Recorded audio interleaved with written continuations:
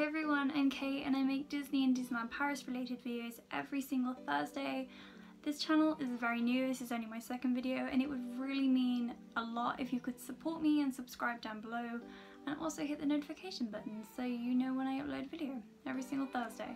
So today's video I'm going to be talking about two hotels at Disneyland Paris, the Sequoia Lodge Hotel and the Newport Bay Hotel. And I'm going to be comparing my thoughts on staying in both of them which one I prefer, how are they different, all those things. So let's get into it. So I'm going to start off by talking about probably one of the most important parts of staying in a hotel and that's your room. Um, but for me this is one of the parts that actually there's really not that much in it. They're both wonderful rooms. Um, they have different themes obviously. The Sequoia Lodge theme is Bambi, it's very rustic, warm colours, dark woods, whereas the Newport Bay it's a nautical theme, so it's kind of blues, whites. Um, the character theming is like the original characters in kind of sailor costumes like Mickey, Pluto. Um, so yeah, they're, they're really not that different. the only furniture that's different is in the Sequoia Lodge. In the corner of the room, you kind of just have a little table with a chair, whereas in the Newport Bay, it's um, like a dressing table which is which is useful when you're doing your makeup but it's not integral like you could just do it in the bathroom. And if people watching this don't wear makeup then it's probably really not that useful at all. Um, so yeah there's really not that much that splits it. Um, I probably should preface this video by saying that if you look in a Disney brochure on paper the Newport Bay is probably classed as a better hotel Disney do not use a star system, they use a key system. Newport Bay is a four key hotel, Sequoia Lodge is a three key hotel.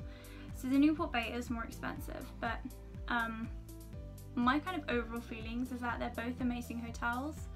They just offer completely different experiences, but this isn't really reflected in the room for me. It's kind of more reflected in the other parts of the hotel, which we'll get into next. So yeah, rooms pretty on par. The next area I'm going to go into is the bars in each hotel.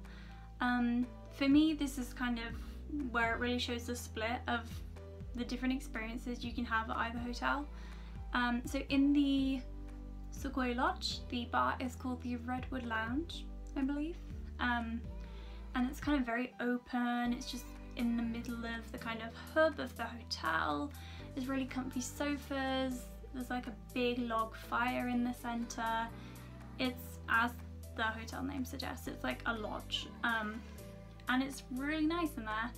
And yeah, it's just, a, yeah, what am I saying? Who knows?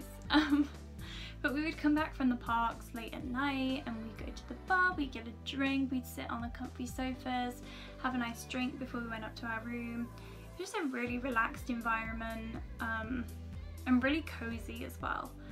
Um, now this is very different to the bar at the Newport Bay, which was called the Captain's Quarters, I think.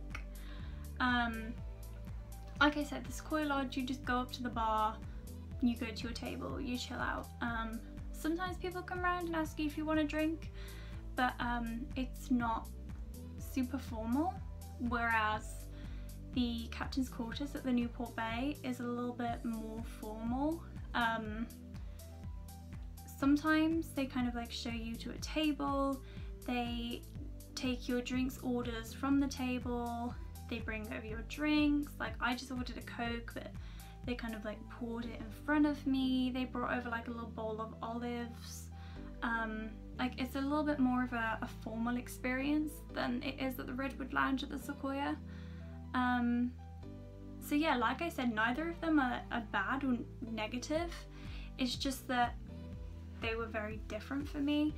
Um, and personally, I really prefer the Sequoia Lodge. It was just much more of a, um, I don't know, just like a relaxed environment. Like we could all come back after the parks and we could just kind of like chill on the sofas and chat. Whereas when you're in the captain's quarters in the Newport Bay and the guys and they're like captains outfits for coming over and bringing you bowls of olives. Like I felt like I should be a bit more formal. And I don't know, when you've come back from the parks and you're wearing like hoodies and mini ears and I don't know, it just felt a bit jarring for me. Um, So I personally prefer the Sequoia Lodge bar, but yeah, like I said, they're both amazing. And the cast members in both are great, but I prefer the Sequoia Lodge.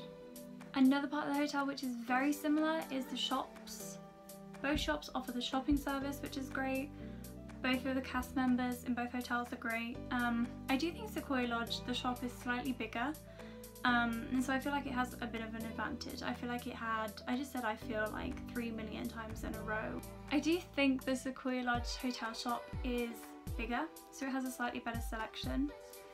Also, I randomly just felt like it was quieter. Don't really know why.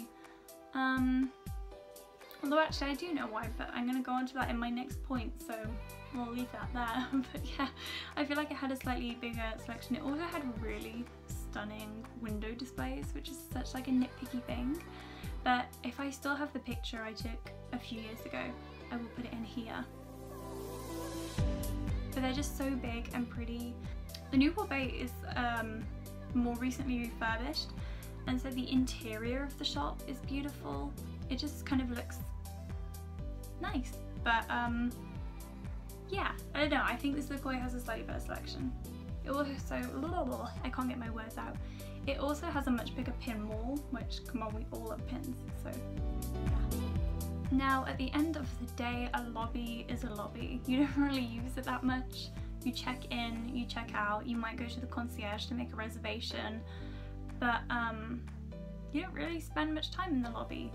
But there is something that separates these two hotels for me, and this kind of leads on with what I was saying in my last point about why the Sequoia Lodge shop was slightly less busy. And that's in terms of the layout of the hotel. So the Sequoia Lodge, you've got the lobby where you come in, but then the shop and the bar and the restaurants all of those are kind of like in a hub together at the back. Everything's very open, everything's connected. So yeah, you've kind of got that separation between the people enjoying the hotel facilities and then the people at the front who are like checking in. That's very different at the Newport Bay because the lobby, like the shop, comes off the lobby, the bar comes off the lobby. So you have to walk through the lobby to get anywhere. Um, and it makes it really busy. I just feel like in the Newport Bay, the kind of central hub is a lot more squished together than it is at the Sequoia Lodge. And so when you're at the Sequoia Lodge, um, the shop feels quieter. When you can meet characters in the morning, when I would meet them at the Sequoia Lodge, it literally took me like five minutes in the queue to meet them.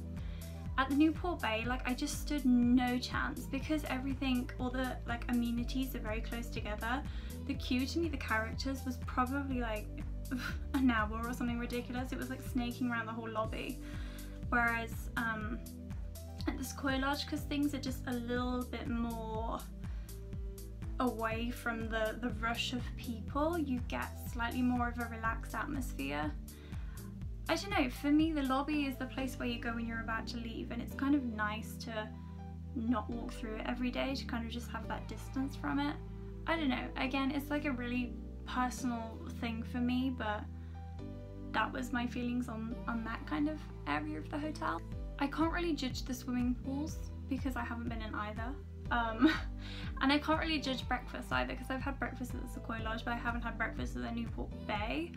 I did want to bring up the, the Newport Bay when we stayed there. Um, we got like four free hot drinks a day from like a drinks machine which they had on each floor which is a really nice kind of addition. Um, they didn't do this last time I was at the Sequoia Lodge but it's been like a year and a half so whether this is something they've introduced I don't know. The other thing is that in the Disney brochure the Newport is apparently a 15 minute walk to the parks and the Sequoia is a 10 they are exactly the same distance. Um, there's definitely not a five minute difference. Um, you can be at Disney Village from both hotels in like three minutes and probably at the parks in like seven minutes. I think they kind of overestimate the walking, but um, yeah, so there's no difference in distance. I do think Sequoia has a slightly more immersive outdoor environment just because like I said, it's supposed to be like a lodge in a kind of national park. So the hotel is surrounded by these beautiful trees and so when you come out of the hotel and you're walking to the park, so you do get to walk through that kind of woody tree area, also known as a woodland. I don't know why I called it a woody tree area. Whereas when you come out the Newport Bay, um, there isn't really, there's like a little kind of gazebo thing with a bench. Um, but there isn't really any outdoor theming. I guess because all the hotels are around Lake Disney and Lake Disney lends itself to the nautical theme anyway. But I don't know, I just think walking to the Sequoia Lodge Hotel is a really kind of relaxing experience. So yeah, I think that's all I have to say on the two hotels. So I know I kind of just rambled there. I don't know if this video made any sense. I don't know if anyone followed this video, but um, to summarize, both amazing hotels. If you can stay at both on different trips, I definitely recommend it because it's always fun to have new experiences. And for me, this video was just a matter of preference. There wasn't one hotel that was great and one hotel that was really bad. They were both really great, it's just they offer different experiences. If you're after a kind of laid back, cozy, um, just really chill, warm experience, I think the Sequoia Lodge is a better hotel.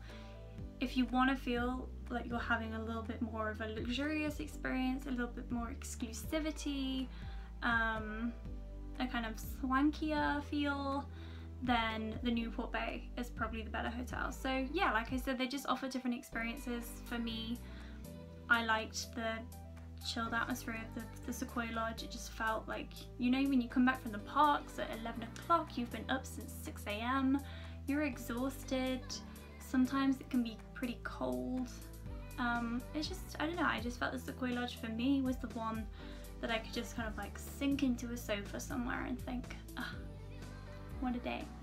But I also would happily stay at the Newport Bay again, but I, yeah, Sequoia Lodge is where my heart is at. So I hope this video was useful, um, or if it wasn't useful, somewhat entertaining, I don't know. Um, if you guys agree with me, you could like this video, or you could just like this video anyway, that would be great. Um, you can comment down below your thoughts, maybe you've stayed in both these hotels, maybe you agree with me, maybe you disagree with me. Maybe you've stayed at one of the other hotels that I haven't stayed at and you have thoughts about one of those that's better, then I would love to know because I'm always looking for new things to try at Disneyland Paris. So yeah, I'm finished for this week. um, I will see you guys next week with another video. Who knows what it's going to be about. See you next week. Bye!